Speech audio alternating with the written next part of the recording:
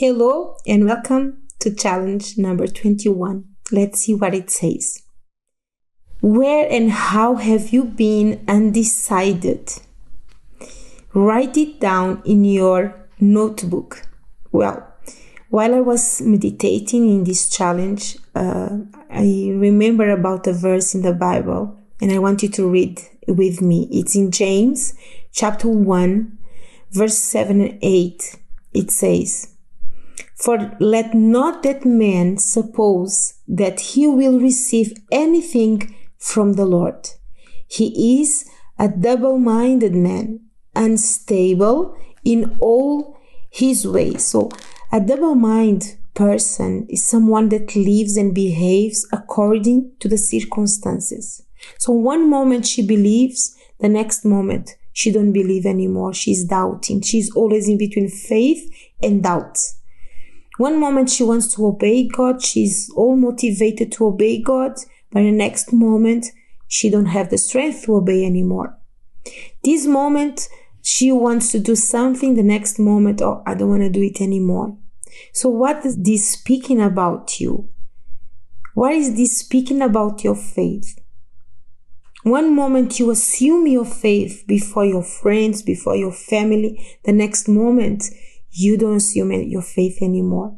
So the Bible says that a person like that is an unstable person and she can't receive nothing from the Lord because she is unstable in all her ways. So analyze. Take this moment, take this week to analyze in what maybe you are not, you is not in every thing you like that. But maybe in your relationship with God, you are like that. One moment you seek Him, the other moment you don't seek anymore. So analyze that. Sit down. Humble yourself before God and see, well, Am I being someone undecided? Am I someone double minded?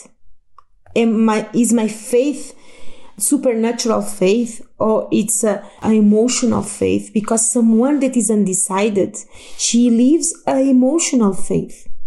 So analyze, see where, what, and how you have been undecided and do something about it. It's not just for you to discover but it's for you to do something about it. All right? Remember that the Lord Jesus said, let your yes be yes and your no be no. Whatever comes in the middle is from the evil one. So decide yourself. Okay?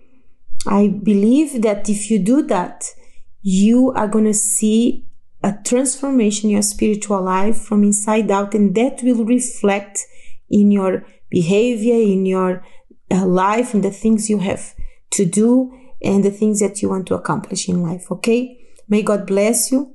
And I hope that this challenge will help you as well. Okay. See you next time.